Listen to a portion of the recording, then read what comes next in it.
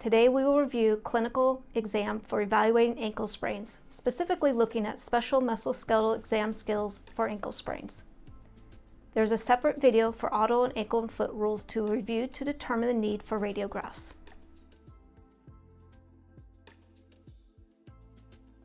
To perform the anterior drawer test, use one hand to stabilize the distal tibiofibular joint. Use the other hand to cup the calcaneus. Place the ankle in neutral position Anterior translate calcaneus to stress the anterior talofibular ligament, looking for increased anterior translation or pain over the anterior talofibular ligament and compared to the uninjured side.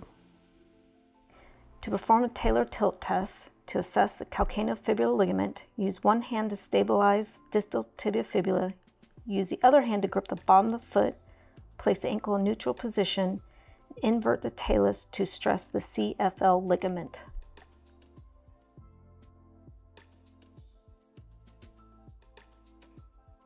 Then to assess the anterior talofibular ligament, place the ankle joint in slight plantar flexion and invert talus to stress the ATFL.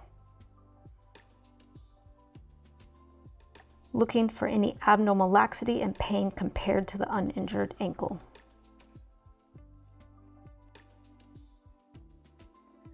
Perform the eversion stress test, patient can be seated or laying down. Use one hand to stabilize distal tibia while using the other hand to grasp the heel and foot. Place the ankle in neutral position. Evert talus to stress deltoid ligament. Looking for abnormal laxity or pain over the deltoid ligament and comparing to the uninjured ankle.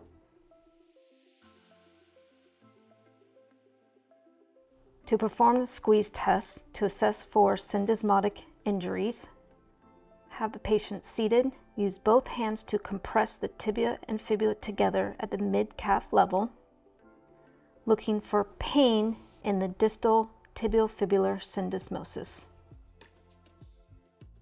To perform the external rotation stress test, patient is seated with knee flexed to about 90 degrees, stabilize the distal tibia, Use the other hand to hold the foot in neutral to slight dorsiflexion and externally rotate the foot relative to the leg. A positive test is indicated by pain over the syndesmosis or deltoid ligament compared to the uninjured ankle. Observe patient walking in clinic looking for slower, shorter steps or compensating gait mechanics.